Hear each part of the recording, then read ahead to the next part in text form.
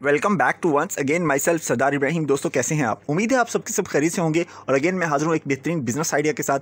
दोस्तों book store के business के हवाले से डिस्कस करूँगा आपसे कि बुक शॉप का जो बिज़नेस है, जो बुक डिपो का बिज़नेस है, वो कितना प्रॉफिटेबल है, उसके अंदर प्रॉफिट मार्जिन कितने हैं, और वो कौन कौन सी पॉकेट्स हैं जहाँ से आप प्रॉफिट उठा सकते हैं। कंप्लीट वीडियो आप देखिएगा, मुकम्मल डिटेल्स मुकम्मल गाइडलाइन आपको इस वीडियो के अंदर आपको दूँगा।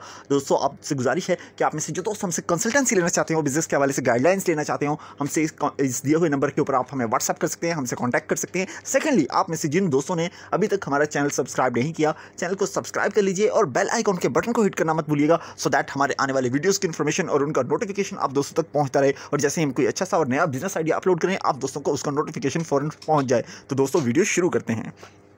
दोस्तों बुक स्टोर का जो बिज़नेस है बहुत प्रॉफिटेबल है। एक, ये एक ऐसा बिज़नेस है जिसके अंदर आप जब स्टॉक खरीद लेते हैं तो इसमें एक्सपायरी डेट नहीं आती। इसका जो प्रॉफिट मार्जिन है वो बड़े अच्छे हैं। फोर्टी परसेंट तक इसका प्रॉफिट मार्जिन चला जाता है बुक्स के ऊपर। तो दोस्तों कैसे आप इसके अंदर कहाँ कहाँ से प्रॉफिट उठाएँगे किस तरीके से आपको ज़्यादा फ़ायदा होगा मुकम्मल डिटेल्स इंशाल्लाह आपके साथ शेयर करूँगा। आप से गुजारिश है कि वीडियो को मुकम्मल एंड तक देखिएगा। ज़्यादा फ़ायदा उठाना चाहते हो तो इसके नोट्स भी बना लीजिएगा ताकि आपको इसका फ़ायदा हो सके। तो दोस्तों सबसे पहली बात यह कि इस बिज़नेस को शुरू करने के लिए सबसे पहला स्टेप आपको जो लेना है वो ये करना है कि आपको मार्केट सर्वे करना है। मार्केट सर्वे किसी भी बिज़नेस के लिए नहायत ज़रूरी है।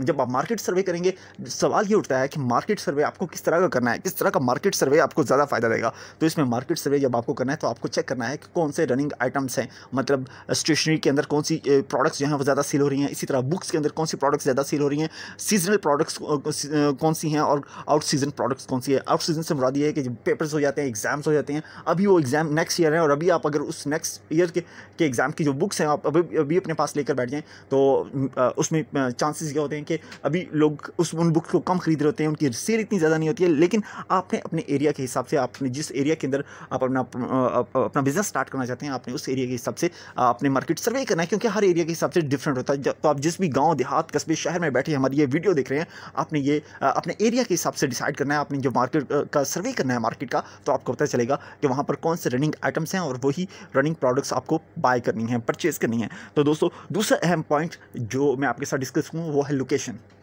तो दोस्तों, जब आपने लोकेशन इसकी फाइंड आउट करनी है तो जब आप किसी गाँव, देहात, कस्बे या किसी भी जगह पर आप अपना ये बिज़नेस स्टार्ट करना चाहते हैं तो आपको इसके लिए लोकेशन फाइंड आउट करनी है। लोकेशन फाइंड आउट करने के लिए जो सबसे इंपॉर्टेंट पॉइंट है, वो ये है कि आपने देखना है कि आपने शॉप ओपन करनी है स्कूल कॉलेज यूनिवर्सिटी या किसी ऐसी एरिया पर जहाँ पर जहाँ पर आस कोई बैंक्स हों और क्योंकि ये वो जगह हैं जहाँ पर आपकी प्रोडक्ट्स ज़्यादा सेल होती हैं।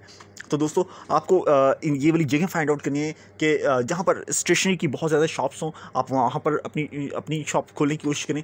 दोस्तों, उसकी वजह यह है कि जब आप किसी ऐसी जगह के अंदर मार्केट के अंदर जब आप अपनी शॉप ओपन करते हैं तो वहाँ पर बहुत सारा कस्टमर सिर्फ़ इसी इसी चीज़ से रिलेटेड आ रहा होता है। फुटफॉल उसका इसी तरह से होता है कि वो उसी एक ख़ास मार्केट के अंदर एक ख़ास माइंड के साथ आता है कि उसे ये वाली प्रोडक्ट परचेज़ करनी है बाय करनी है। तो दोस्तों स्कूल कॉलेजेस के पास जब आप अपनी शॉप खोलते हैं तो वहाँ पर भी लोगों का यही माइंडसेट होता है कि यहाँ पे आसपास कोई बुक स्टोर होगा तो वहाँ पर आप अपनी शॉप ओपन करते हैं तो इस तरीके से आपकी सेल बढ़ती है और आपके सेल्स वॉल्यूम के अंदर इजाफा होता है, आपका कारोबार जो है ग्रो करता है, तरक्की करता है।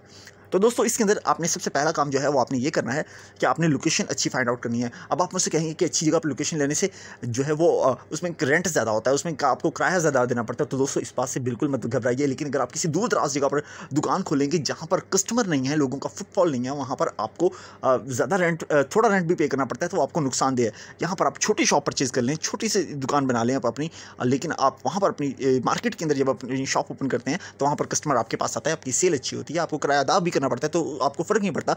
तो वो वहाँ पे जहाँ पर एक मार्केट है प्रॉपर, वहाँ पर आपको अपनी शॉप ओपन करना ज़्यादा फ़ायदेमंद है। तो इसलिए लोकेशन को आप बहुत सोच समझ के चूज़ कीजिए, जो आपके शॉप के लिए बेस्ट लोकेशन हो।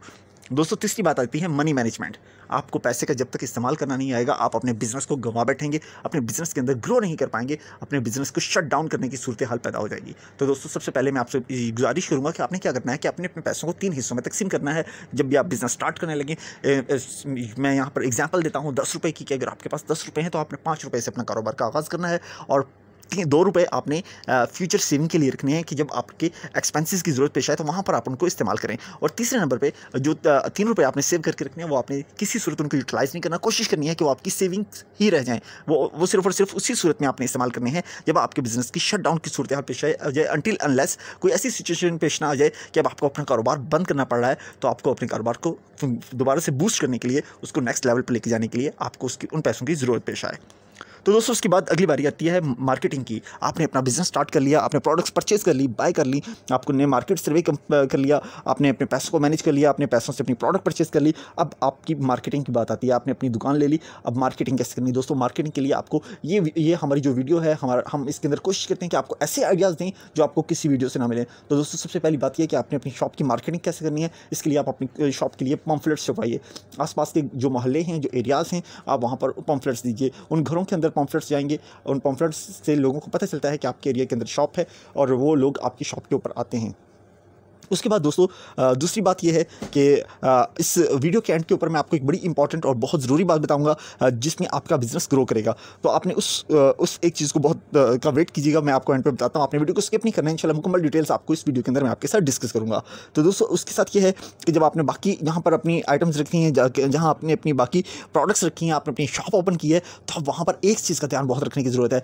दोस्तों बेस्ट टाइमिंग्स टाइमिंग बहुत मैटर करती है कि आपकी शॉप के ऊपर किस वक्त कस्टमर सबसे ज़्यादा आता है, किन पीक आवर्स के अंदर आपके पास कस्टमर सबसे ज़्यादा आ रहा है। दोस्तों, उसी टाइम के ऊपर आपको अपनी शॉप लाजमी ओपन करके रखनी है। लेट्स सपोज़ कि अगर सुबह के टाइम सुबह सात बजे से लेकर दोपहर तीन चार बजे तक आपकी शॉप की रनिंग बहुत ज़्यादा है तो आपको इस टाइम के दौरान अपनी शॉप लाजमी ओपन करके रखनी है। ऐसा नहीं है कि टाइमिंग सुबह सात बजे से चार बजे तक बहुत ज़्यादा आपके पास कस्टमर आ रहे हैं तो आप अपनी शॉप ओपन ग्यारह बजे करने के लिए जा रहे हैं। दोस्तों, ऐसे नहीं चलेगा। कारोबार स्टार्ट कर रहे हैं। आपने अपने जो एक्सपेंस आपने अपनी शॉप के ऊपर किया है, आपने वो वो आपको वापस चाहिए, आपने उससे प्रॉफिट कमाना है, अपने बिज़नेस को ग्रो करना है तो आपको टाइमिंग का बहुत ज़्यादा ध्यान रखना पड़ेगा कि आपको उन्हीं टाइमिंग्स के अंदर, उन्हीं पीक और के अंदर अपनी शॉप को ओपन करने करना पड़ेगा जब आपके पास कस्टमर ज़्यादा आ रहा है। प्लस दोस्तों, अपने बिज़नेस के अंदर हमेशा इस बात की कोशिश की जाती है कि आप उसके अंदर ज़्यादा से ज़्यादा स्टेशनरी ऐड करें, उसके अंदर आप फ़ोटो मशीन आप उसके अंदर रखें। आप उसके अंदर प्रिंटर रखें। आजकल ऐसे फोटोकॉपी मशीन भी मिल जाती है, जो फोटोकॉपी मशीन भी होती है, साथ में प्रिंटर भी होती है तो आप उसका फ़ायदा उठा सकते हैं। वो कम पैसों के अंदर आपको मिल जाती है। आप एलेक्स से भी फाइंड आउट करते हैं मार्केट से भी जाके आप परचेज कर सकते हैं। उसके अलावा दोस्तों, किसी मशहूर टीचर के नोट्स अपने पास रख सकते हैं पेपर्स रख सकते हैं हेल्पिंग गाइड्स रख सकते हैं बुक्स रख सकते हैं मैगजीन्स रख सकते हैं न्यूज़ अपने पास रख सकते हैं ओल्ड बुक्स अपने पास रख सकते हैं, जिनसे आपका बिज़नेस ग्रो करता है। दोस्तों, अगली बात जो मैं आपके साथ इस बिज़नेस के हवाले से डिस्कस करूँगा, वो ये है कि आपने अपने प्रोडक्ट्स को, अपने बिज़नेस को ऑनलाइन भी सेल करना है। ऑनलाइन सेल करने के लिए बहुत आसान सा नुस्खा है कि आप अमेज़ॉन के ऊपर अपना अकाउंट बनाइए, आप दराज या अली बाबा के ऊपर जिस तरीके से आप अपना सेलर अकाउंट बना सकते हैं, जो जो भी सोशल मीडिया साइट्स हैं, आप उनके ऊपर अपना अकाउंट बनाइए और अपना अकाउंट बना के इनको ऑनलाइन सेल करना शुरू करें। दोस्तों ऑनलाइन का जो उसे कह लें कि कॉन्सेप्ट है, वो बढ़ता जा रहा है। ऑनलाइन लोगों, लोग बहुत ज़्यादा प्रॉफिट उठा रहे हैं उसमें प्रॉफिट मार्जिन बड़े अच्छे हैं। आप ऑनलाइन जो चीज़ फिजिकली तौर पर आपसे परचेज़ करने के लिए लोग लेते हैं, वो दस रुपये में सेल होती है। तो समटाइम्स अगर आप अच्छी प्रोडक्ट बनाकर अगर अच्छी प्रोडक्ट आप सेल करते हैं तो हाई प्रॉफिट मार्जिन के ऊपर आप अपनी प्रोडक्ट्स को सेल कर सकते हैं। प्लस दोस्तों, आप अपनी एक वेबसाइट बना सकते हैं। आप अपनी जब एक वेबसाइट बनवाएँ तो कोशिश करें आप ऑनलाइन बुक स्टोर जब आप अपना बना रहे हैं तो ऑनलाइन बुक स्टोर के ऊपर आप अपनी बहुत सारी अच्छी अच्छा डिस्प्ले दें स्ट्रॉन्ग विजुअल्स उसके ऊपर डालें कि मतलब आपकी जो जो जो प्रोडक्ट्स आप उनको ऑफ़र कर रहे हैं, उनके उनके जो रिव्यूज़ हैं, उनके रिव्यूज़ बहुत अच्छे हों। तो अगर उनके रिव्यूज़ अच्छे होंगे तो आपके पास कस्टमर ज़्यादा आएगा। आपकी वेबसाइट के ऊपर ज़्यादा से ज़्यादा स्टे करेगा। आप वेबसाइट से भी पैसा कमा रहे होंगे और आपके पास जो जो ऑर्डर्स आपको रिसीव हो रहे होंगे, आप उससे भी बहुत अच्छा प्रॉफिट कमा सकते हैं। दोस्तों सेकंडली आप कोशिश करें कि आप अपने, आपके पास जो कस्टमर आ रहे हैं आ रहे हैं, उनको अपने दो तरीके से इंगेज करना है। एक तो ये कि आप उनको एक डिस्काउंट कार्ड ऑफ़र कीजिए। बाकी लोग अपनी शॉप के विजिटिंग कार्ड बनाते हैं। तो ये मेरी इस वीडियो के अंदर मैं आपको एक नहायत एक बेहतरीन बिज़नेस टिप आपको एक देने लगा हूँ कि आप अपनी शॉप के डिस्काउंट कार्ड बनवाइए। जब आप डिस्काउंट कार्ड बनवाते हैं तो होता ही है कि आप उसके ऊपर लिख दीजिए कि जो भी मेरे कस्टमर हमारे पास आते हैं, आप हमें जब ये कार्ड शो करते हैं तो हम आपको टू परसेंट डिस्काउंट देंगे या थ्री परसेंट डिस्काउंट देंगे। आप हमारे ये कार्ड अपने पास, आपके पास लाजमी होना चाहिए। दोस्तों, अपने कस्टमर्स के जो नंबर्स हैं फ़ोन नंबर जो हैं, वो आप अपने पास एंट्री करते जाइए। आपके पास कोई भी नई बुक्स आ रही हैं, नए मैगजीन्स आ रहे हैं, नई, नए न्यूज़पेपर्स आ रहे हैं, उनकी तस्वीरें लीजिए और उनको व्हाट्सअप करते जाइए। उससे उससे ये होता है कि आपके पास, आपके कस्टमर्स का जो डाटा है वो सेव होता है। आप उनके ग्रुप्स जो है एक ग्रुप अपना बना के उनको रख अपने पास रख लीजिए। उसके ऊपर लिख दीजिए कि ओनली एडमिन कंसर्न मैसेजेस सिर्फ़ एडमिन जो है वो मैसेज सेंड कर सकता है। अगर सिर्फ़ एडमिन मैसेज सेंड कर सकता है तो उससे ये होगा कि सिर्फ़ आप उनको मैसेज सेंड कर सकेंगे, वो आपको मैसेज सेंड नहीं कर सकेंगे।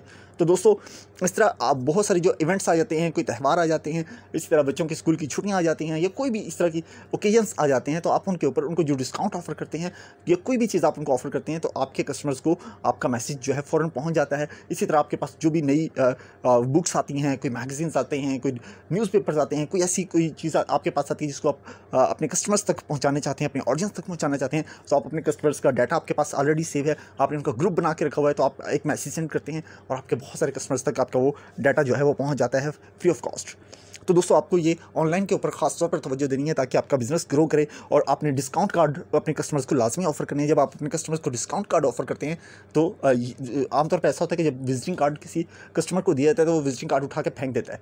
आपने विजिटिंग कार्ड को इतना ज़्यादा सेव करके नहीं रखा जाता, लेकिन उसके मुकाबले में अगर डिस्काउंट कार्ड को देखा जाए तो डिस्काउंट कार्ड को लोग बहुत सेव करके बचा के रखने हैं। आपने कोशिश करनी है अपने डिस्काउंट कार्ड की शक्ल ऐसी बनानी है, जैसे वो कोई एटीएम कार्ड हो थोड़े से खर्चा कर लीजिए, थोड़ा सा अच्छा कार्ड बना लीजिए, उससे ये होगा कि आपका कार्ड गिरेगा नहीं। आपका कार्ड रद्दी की टोकरी में नहीं जाएगा, ज़ाया नहीं होगा। तो आपने अपने उस कार्ड को थोड़ा सा उसके ऊपर एक्सपेंस कर लीजिए और अपना कार्ड जो है वो अच्छा बनवा लीजिए। दोस्तों, अपना बिज़नेस को ग्रो करने के हवाले से आप फर्दर हमसे मज़ीद मालूम लेना चाहते हो, हमसे मज़ीद गाइडलाइंस लेना चाहते हो तो आप हमसे शुरू में मैंने नंबर दिया था व्हाट्सएप पे। आप हमसे कांटेक्ट कर सकते हैं, हमसे रब्ता कर सकते हैं। किसी भी बिज़नेस के हवाले से मुकम्मल डिटेल्स मुकम्मल गाइडलाइन इंशाल्लाह आपको हम, आपको प्रोवाइड करेंगे।